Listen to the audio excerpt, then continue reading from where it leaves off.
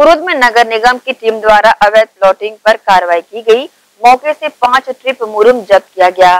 निगम आयुक्त ने रजिस्ट्री पर रोक लगाने पत्र लिखा है। साथ ही अवैध प्लॉटिंग करने वालों को नोटिस जारी किया गया है।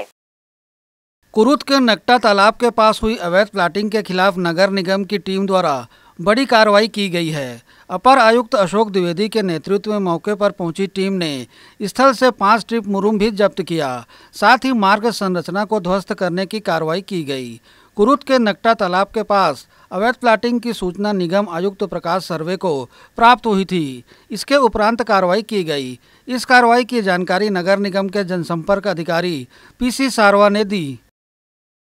देखिए, अवैध प्लाटिंग को लेकर जो है शिकायतें प्राप्त हो रही थी। आयुक्त महोदय के संज्ञान में यह बातें आई और आयुक्त महोदय जो जो गठित टीम है, जो भवन अनुज्ञा भवन निर्माण विभाग के अधिकारी हैं, वो मौके पर पहुँचे।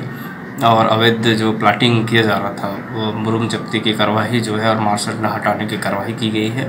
साथ ही रजिस्ट्री को जो है वो रजिस्ट्री में खरीदी बिक्री पर जो रोक लगाने का लेटर है, वो भी आयुक्त महोदय ने जारी किया है। इसके अलावा निगम ने जो संबंधित अवैध प्लाटिंग करने वाले लोग हैं, उनको नोटिस जारी कर सात दिन का समय मांगा है, उनको जवाब मांगा है और इसके उपरांत जो है अग्रिम कार्रवाई की।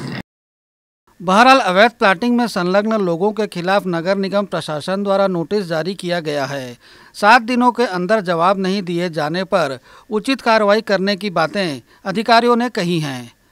ग्रैंड एशियन न्यूज़ के लिए गौरव तिवारी के साथ संजय दुबे।